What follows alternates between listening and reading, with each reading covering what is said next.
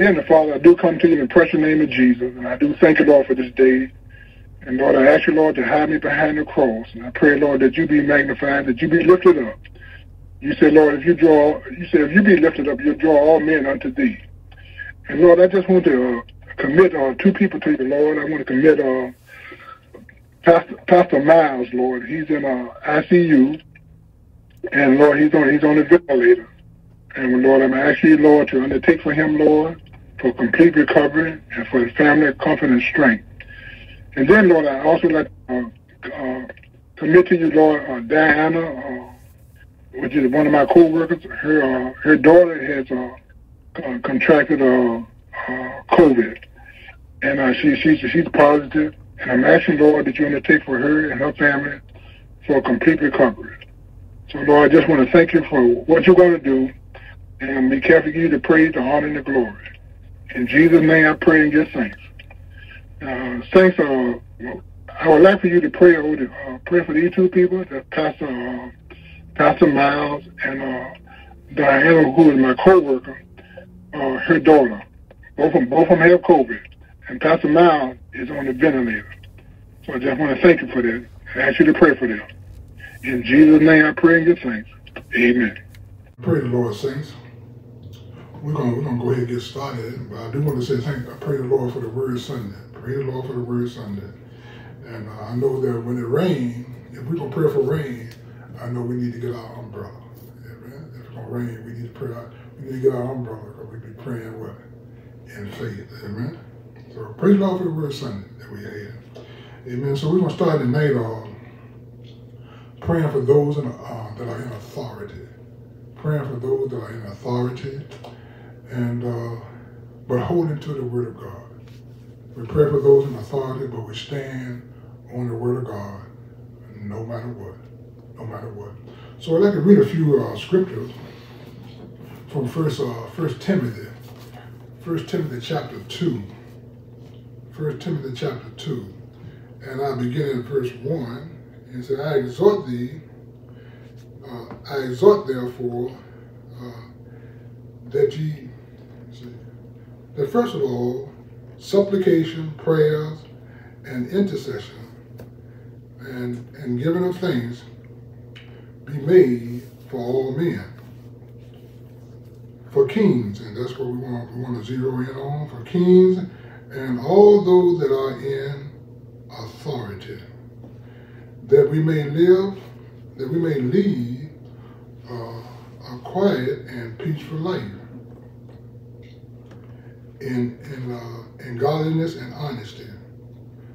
For uh, for this is good and acceptable in the sight of God, our Savior. Wherefore, I mean, who will who will help all men to be saved and to come unto the knowledge of the truth. For there is one God and one mediator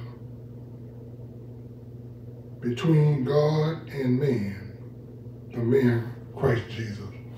And uh, we want to zero in on that area. Uh, on Sundays, I'm speaking on uh, we must become one. We must become one. I'm speaking on Sunday. And I'd like to use that objective that I have on Sundays and bring it over here because uh, uh, we were taking it from, uh, we must become one from uh, John chapter 17. And uh, there is a lot of division, especially around the United States. I know it's around the world too, but I'm mainly uh, talking about the United States. And uh, I'm not talking about the hustlers, the gamblers, the dope boys, uh, the pimps, the prostitutes. I'm not talking about them. What I'm talking about is are, are Christians. And uh, there is a, a, division among Christians. And Satan is so slick that uh, he is called a division. But we want to uh, take hold of God's word and become one. One. Because that scripture said there's one God, one God, and one mediator between God and man, the man Christ Jesus. Now we have a lot of power. We have more power than we than we realize. But by division, when division comes in, we forget all about that. And we start concentrating on on uh, every head with the objective over there. We must become one. What I believe, what I think, this how I feel, this how I see it. Now, all of that needs to be crucified. All of that need to be crucified. Uh, how I feel, how I think, what I believe, this is the way I see it. We need to go to uh, what I call my Kinsey conscience, St. John 3.30. For he must increase, and I must decrease. And all born-again Christians need to become one. There's one God and one mediator between God and man, God and men, the man Christ Jesus. Now, we're starting tonight, but what we're going to do, uh, we're going to go over to uh, Daniel chapter 3 next time. And uh, we're going to still pray for those in authority, but we cannot compromise the Word of God. We must stand on the Word of God. But we need to pray for those in authority. Uh, it said kings and all those that are in authority. Uh, they need to be saved. They need to be born again. And uh, I know that some people might say, well, I'm not going to vote for this lady. I'm not going to vote for this man because I, I can't stand him and all this old kind of stuff. And the other side said, I like him, I like her and all that. Listen, we can forget all that. We need to come and do like the Lord said. We need to pray for those in authority, uh, starting with kings and all those that are in authority. We need to pray for them. Lay all our stuff, all our this self, lay that. They need to be crucified, decrease, and the word of God needs to be uh, take hold of. We need to pray for uh, the president, regardless of how you feel. How you feel don't have anything to do with it. What you think don't have nothing to do with it. How you feel, what you believe don't have nothing to do with it at all. And how you see things don't have nothing. What we need to do as one body is to pray for those in authority. Because what happens is, when a person gets saved, the scripture said, therefore if any man, woman, boy, girl be in Christ, they are a new creatures. They can get they can get born again and come a, a brand new person. And then it said come to a saving knowledge of the truth. They're getting God, they're getting God's word and find out what the truth is. The truth about everything. Everything. And uh, that is what we should do. We should pray uh, for men in authority, but we must uh, stand on the word of God. And my prayer is that we be we be one. If we're not one, Satan has got in there and he is called havoc. But we can, uh, the scripture says, resist the devil and he'll flee from us. If we stand on the word of God, we stand on the word of God, he'll flee from us. And uh, we'll, be, we'll pray for, uh, especially like up in Congress, uh, that for men and women, uh, that they get saved, get born again. And then the ones who are saved, that they make a stand on the word of God and not their own understanding. For the president, pray that he gets saved. Pray that, how you feel, forget that. We are obligated to pray for those that are in authority. But we must stand on the word of God. And what we'll do, we'll, we'll go over to Daniel chapter 3. Uh, next time we look at the Hebrew boys. And um, we'll see what they did. And what they did is what we must do. And this is a wicked time. I mean, this is a wicked time. There's killing everywhere, uh, stealing everywhere. I know uh, in California they said that uh, I think the uh, $950 is a, is a misdemeanor now. And I think they said that the, uh, the boys who steal, they going in, they going in there with a calculator. And when they get to about 940, they said, we got enough right now. And they walk on out the store with all the stuff. Because ain't nothing to happen to them. So the world is getting wicked and getting dangerous. and people are killing people like like I don't know what, and uh, all habit is going on. But we need to take hold of God's word, and uh, He told us that go into all the world and preach the gospel to every creature. We must uh, look unto Jesus, who is the author and the finisher of our faith, and uh, we we are not to get entangled entangled with the affairs of this life. And I think many of us have gotten entangled. And that's where what I think, what I believe, how I feel coming comes in. And we need to put that thing, that thing, need, all that need to be crucified. And I'll talk again about that when I speak the next time on Sunday. But we must make a stand on the word of God because the scripture says in Acts 5.29, rather to obey God rather than men. We understand on this book right here.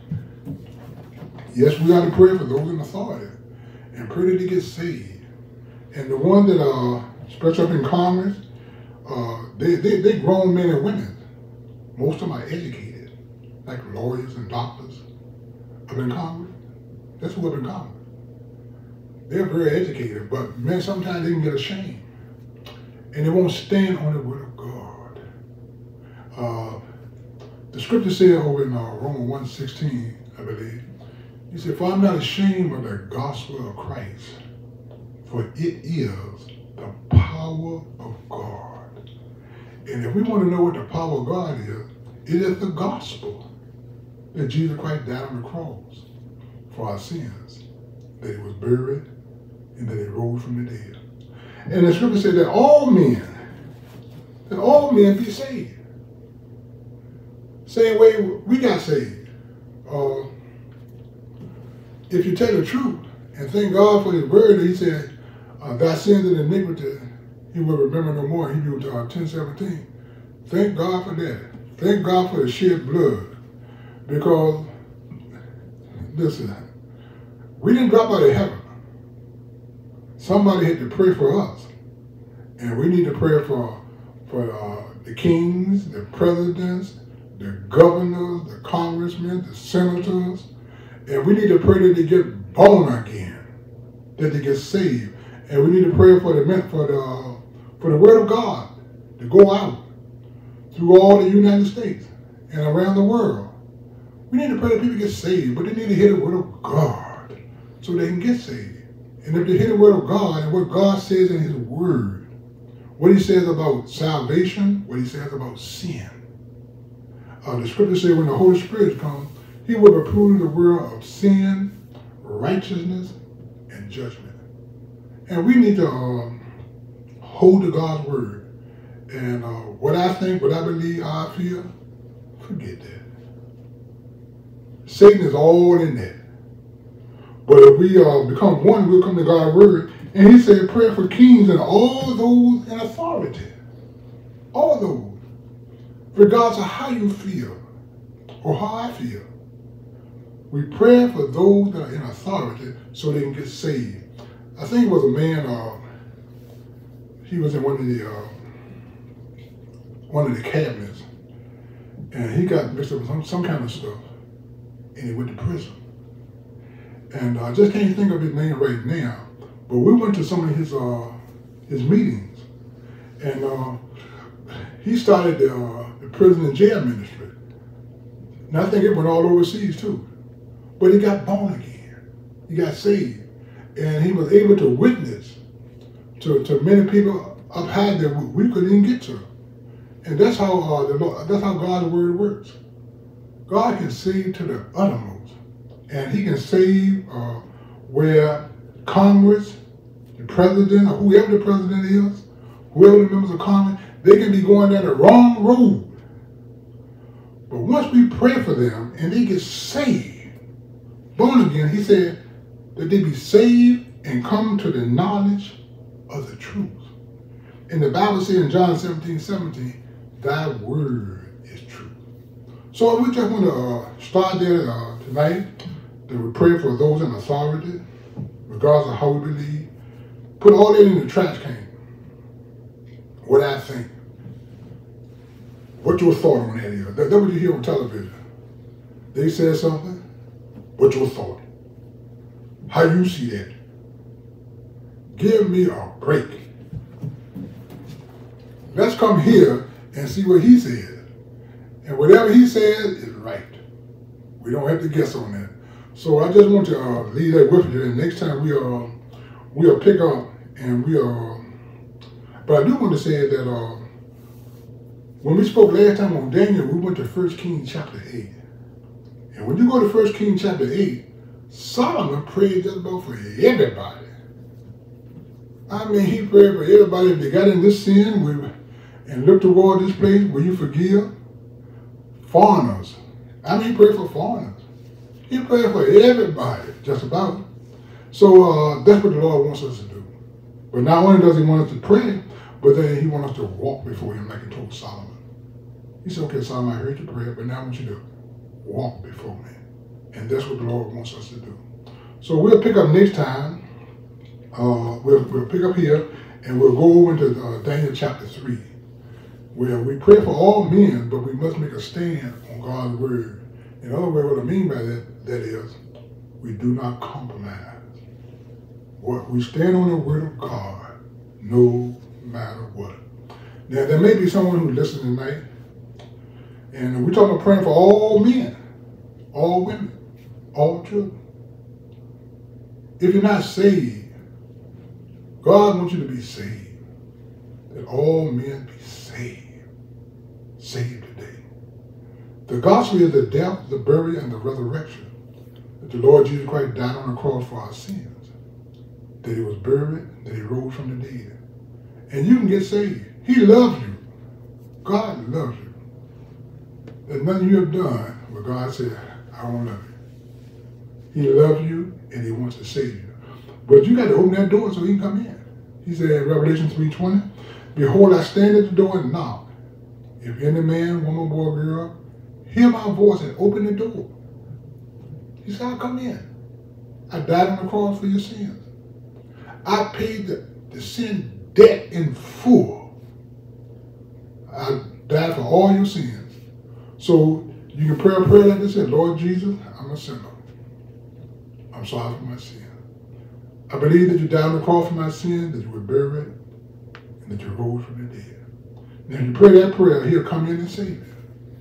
He'll come in and save you. So I'm going to close right here. Uh, let's pray. Dear my Father, I do thank you for your grace and mercy. And Lord, I pray, Lord, that your word, Lord, find a large place in our hearts, Lord, that we may meditate on your word. In Jesus' name I pray and give thanks. Amen.